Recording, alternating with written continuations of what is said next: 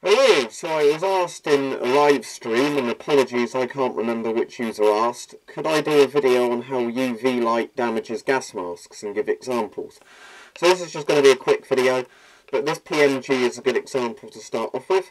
Where I store this mask, unfortunately, it's in, it's in an area where some parts of the day UV light, like sunlight, can hit the mask. And you can actually interestingly see the kind of pattern where the sunlight tends to hit it.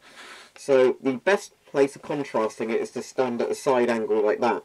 You can see where the sunlight hits the mask on the front, um, you can see where the mask is essentially tanned.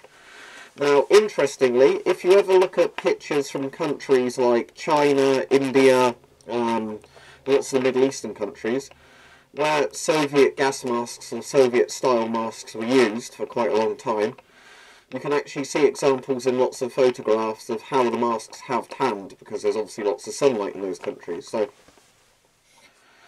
in general, yes, sunlight is not good for masks, and if you're storing a surplus mask, or any mask for that matter, it's best to always keep it out of sunlight. The easiest way of doing that, of course, is actually quite simple. All you need to do is store the mask in a satchel bag on a shelf somewhere. Ideally in a cupboard where it's dry and everything, but in general, storing a mask in a satchel bag does reduce the risk of UV damage, because obviously the sunlight generally can't penetrate the bag or it's going to reduce the amount of sunlight getting through the bag by quite a margin. So, yep, if you look at this mask, you can quite easily see where the colour has changed due to UV light. It literally just tans the rubber. Now, what I'm going to show you now is what happens when there's been quite a lot of UV exposure over a long time and it's actually permanently damaged the masks, rather than just tanning it. So let me show you that now. Now, here's my MM1 respirator which is on a mannequin, and because it's on a mannequin it's in a room where sunlight hits it quite frequently. And this uh, gas mask has been on this mannequin for a few years now.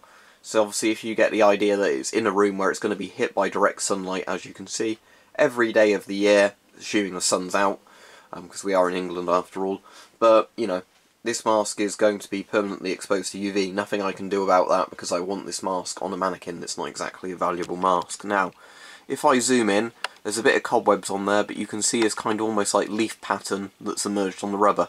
That's where the rubber's cracking due to UV damage. There we go, if I zoom in there, you can permanent properly see it there. And the camera actually looks like it's going to focus. So that is what eventually starts happening to the rubber, it starts to crack.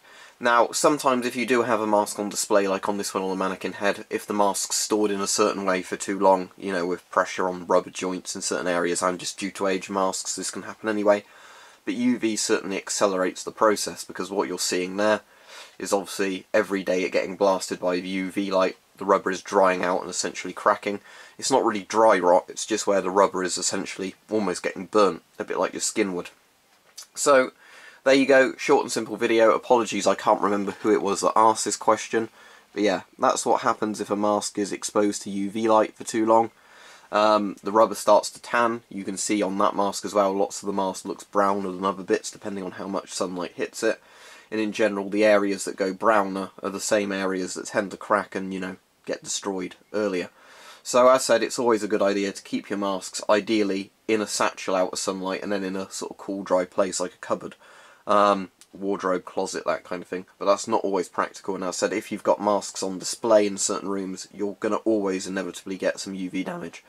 As far as I'm aware, LED and sort of um, regular bulbs don't damage masks, or if they do, it's such a slow process compared to UV. Um, and as said, some masks are certainly more obvious than others that they've been damaged. So, for example, with these sort of masks, it's definitely more obvious that, um, you know, like Soviet style masks made out of the latex they made out of, especially like the white grey sort of GP5 style masks.